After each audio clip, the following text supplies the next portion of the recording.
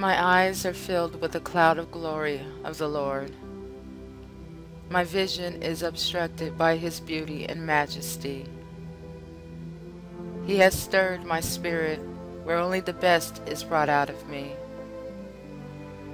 Just like churned butter, sweet cream floats to the top. He has risen the sweetness buried deep inside of me when I was too bitter to stand close to. He has filled my heart and soul with abundance of love.